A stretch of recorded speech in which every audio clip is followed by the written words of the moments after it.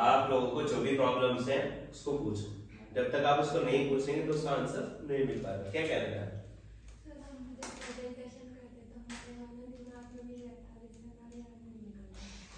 जब आप इंग्लिश बोलते हैं, आपको डर लगता है। ठीक है? जितना आप जानते हैं, वो भूल जाते हैं। वेरी बहुत इजी है, बहुत ही आसान सी चीज़ है कि जब आप बोलते हैं तो आप पता है, आपको नहीं बोल पाते। क्योंकि आप जी रहे हैं कंफर्ट जोन में।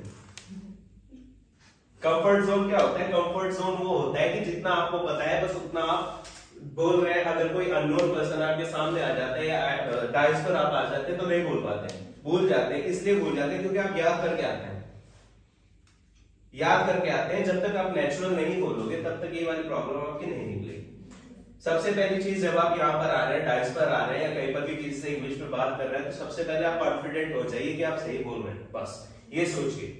आप ये सोचिए कहीं हम गलती ना कर दे मिस्टेक ना हो जाए तो क्या होगा? आप नहीं बोल पाएँगे भूल जाएँगे चीज़ों को। वर्ड्स नहीं बन पाएँगे सेंटेंसेस नहीं बन पाएँगे।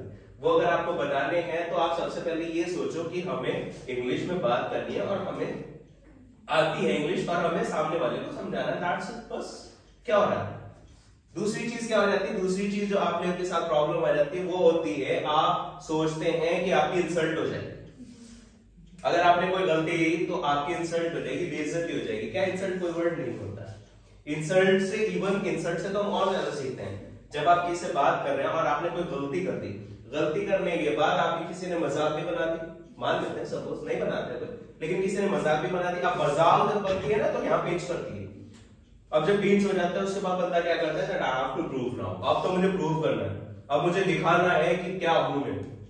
तो, तो अच्छी बात है। जितनी ज़्यादा आपके इंसल्ट होगी उतना ही ज़्यादा आप आगे बढ़ेंगे। तो इसलिए इंसल्ट आप कराते रहो और आगे आप बढ़ते रहो। ठीक है? तो क्या करना है? इंसल्ट कैसे हो गया ये भी तो क्वेश्चन है ना। इंसल्ट होगी कैसे? जब हम कुछ बोल ही नहीं रहे चुपचाप बैठे तो इंसल्ट कहाँ हो जाएगी? इंसल्ट कराने के लिए क्या करना पड़ेगा? बोलना पड़ेगा। लोगों के साथ बात करनी पड़ेगी। और जब आप लोगों से बात करोगे ना तो आपकी हैबिट बन जाएगी। हिंदी जब आप बोलते हैं, डर लगता है? क्योंकि आपको आदत हो चुकी है उस चीज़ की। इंग्लिश की हैबिट नहीं है आपको। हैबिट नहीं है तो क्या होगा? डर लगेगा।